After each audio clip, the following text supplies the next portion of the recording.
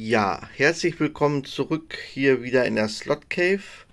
Äh, vorab muss ich mich entschuldigen, dass es doch ein wenig länger gedauert hat als gedacht. Ähm, Temperaturen sind wieder hier unten angenehm und auszuhalten.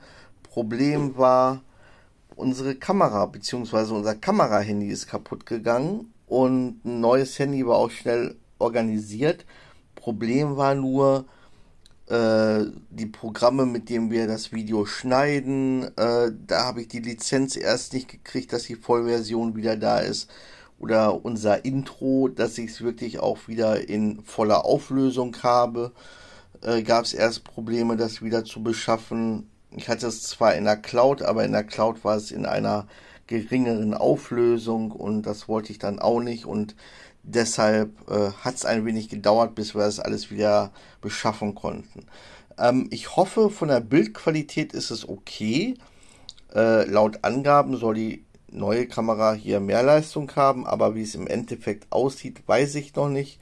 Deshalb hoffe ich mal, es geht. So, wie wir hier schon sehen, ist der Andretti M1 und der Würth Zack Speed oder Kraus Zack Speed ähm, sind jetzt schon wieder einsatzbereit. Da sind die neuen Reifen drauf und die fahren sich gut.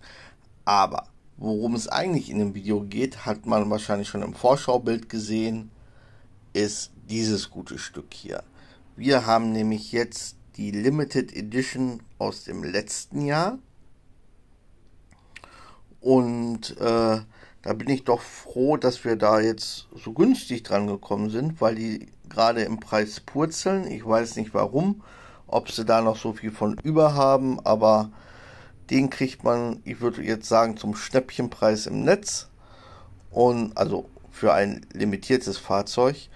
Und ähm, wir haben hier die Nummer 76 von insgesamt 1999 Modellen.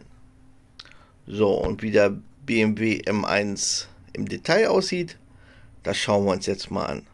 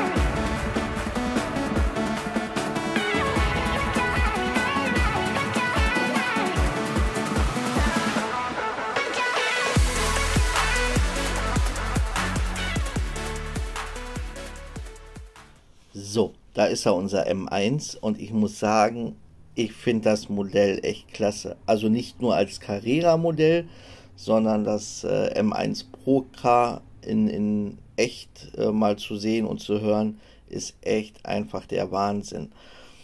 Ähm, so wie er hier steht, ist er 1983 in Le Mans gestartet.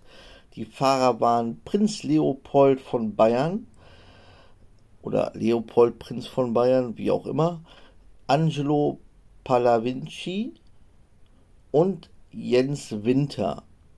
Der Wagen ist äh, leider ausgefallen, hat nur 160 Runden geschafft und hatte damit zum Ende die Position 31. Äh, was ich hier ein sehr schönes Detail finde, ist der Helm des Fahrers.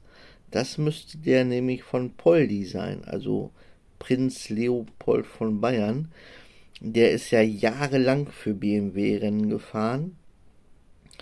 Ähm, ich mache euch mal gerne einen Link rein. Und zwar war Jean-Pierre Kremer tatsächlich mal äh, auf einer Rennstrecke, wo er einen M1 fahren durfte. Und da war Poldi auch bei.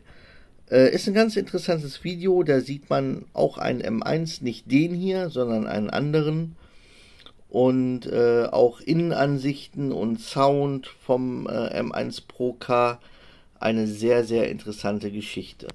Ich muss sagen, dieses Fahrzeug, also allein auch wenn man hinten schaut, mit den beiden BMW-Logos, eins rechts, eins links, ist das Pro Car schon ein echt tolles Fahrzeug. Es ist halt ja schon so ein 80er Jahre Design aber auch mit den Klappscheinwerfern, wie er vorne früher war, mit den schmalen Nieren, dann die kleinen Scheinwerfer noch vorne in eine Stoßstange, wo die Blinker bei sind.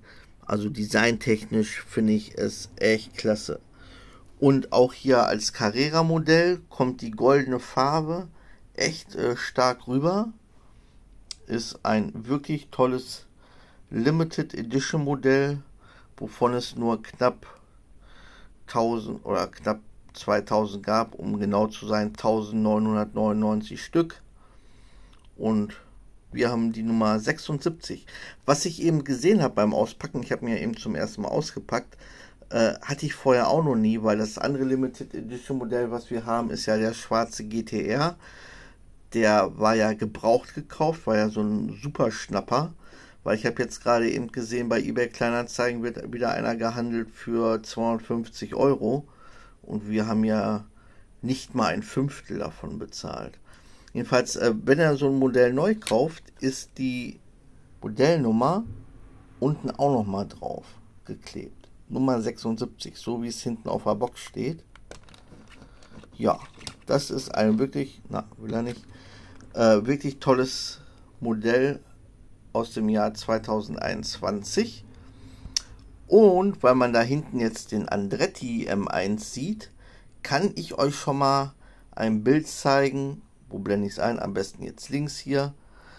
Ähm, und zwar von den Modellen, die noch im Oktober kommen. Einmal noch der M4 von BMW Motorsport, der auch dieses weiß-blau-rote Design hat. Und noch das Limited Edition Modell von diesem Jahr, nämlich den BMW 320 Turbo Flachbau, den wir ja in Gelb haben mit der Startnummer 56. Der kommt noch mit der Nummer 72 dieses Jahr raus als Limited Edition Sondermodell im Design des Andretti M1. So, dann zeige ich euch hier nämlich gerade nochmal nach. Also hier ist er nochmal nah, ne? der Andretti M1 und jetzt daneben der 320 Flachbau.